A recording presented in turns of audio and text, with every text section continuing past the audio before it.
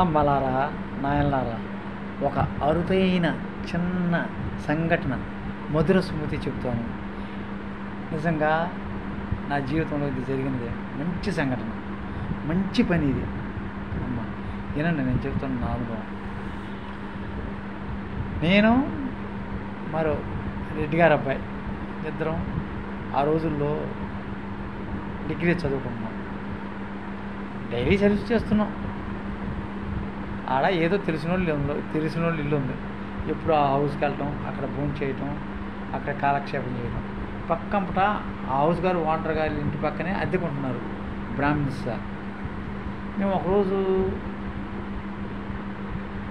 చదువుకోవటానికి వెళ్ళి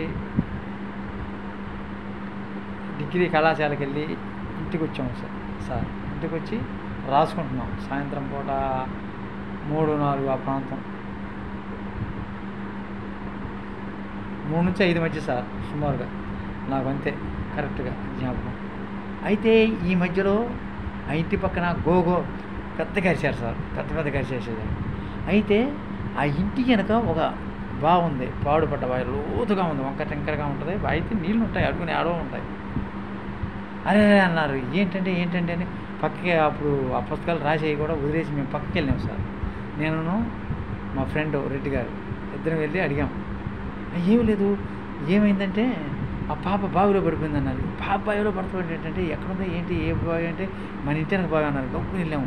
ఉరికిపోయి చూస్తే ఏముంది? పాప నేల మీద ఎట్ట కొట్టుకుంటుంది. పైనే ఉంది పాప.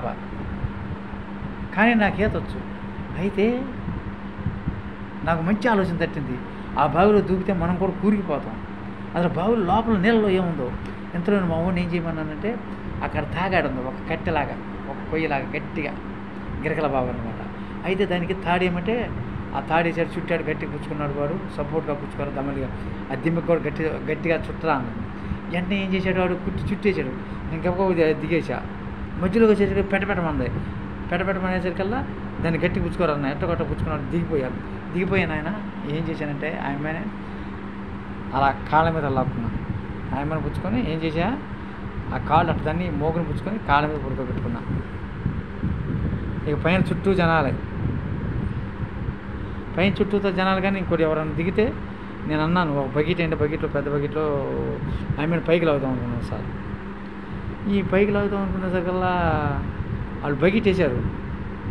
ఆ బకెట్లో ఆ పిల్లని కూర్చోబెట్టా కూర్చోలేకపోతుంది ఉణుకుతుంది ఇంకా లాభం లేదులే అంటే పైకి లాగేసి అంటే ఒక మంచానికి నాలుగు పక్కల చిన్న మంచం చూసి లేకపోతే ఉయ్యల లాంటిది చూసి ఉయ్యల నాలుగు పక్కల అంచులు ఉంటాయి పైకి అమ్మాయి పడకుండా అలాంటి ఉయ్యల నాలుగు పక్కల నాలుగు తోడు కట్టి దింపండి అన్న. దాంట్లో పొడిగైతే నాలుగు నాలుగు పక్కల లాగితే పైకి వస్తుందన్న. ఇక ఎంతలోనే వాళ్ళు ఏం చేశారు? ఇట్లా లాభం లేదని ఎట్టొకటి అందరూ ధైర్యం చేసి కుర్రోళ్ళు అంతా స్టెప్ బై స్టెప్ మూగులు వేసుకొని ఒకళ్ళప్పుడు ఒకళ్ళు ఒకళ్ళప్పుడు ఒకళ్ళు అట్లా ఐదారుగురు బావికి ఏడెనిమిది మంది ఈ బావిలోనే వరుసగా ఉండిపోయారనమాట అట్లా ఆయమని ఏం చేసాం పైకి తీసుకొచ్చేసాము అది. అయితే ఆమె అట్లానే మోకాళ్ళ మీద పెట్టుకున్నాను నాకు చేతులు మట్ల పుట్టాయి సార్. అయినా సరే ఒక ప్రాణాన్ని రక్షించాలి. చేతులు ఆ రోజు చాలా మట్ల పుట్టాయి. మట్ల పుట్టినా సరే ఒక ప్రాణాన్ని రక్షించాలనే ఆత్మ నా ఆత్మబలంతో పట్టుదలతో ఆత్మవిశ్వాసంతో నమ్మకంతో ఆ అమ్మాయిని రక్షించాను. అది.